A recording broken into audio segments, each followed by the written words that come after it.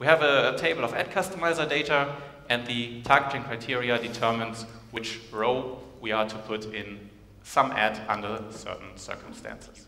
So someone here in Linz may see a different ad than someone in Innsbruck, which makes this very, very easy and saves us a lot of time. And they point to a data feed, which I creatively named feed. And you can even build an entire ad just out of ad customizers.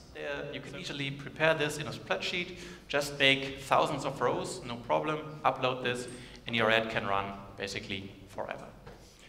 A more elegant way is to use an if function.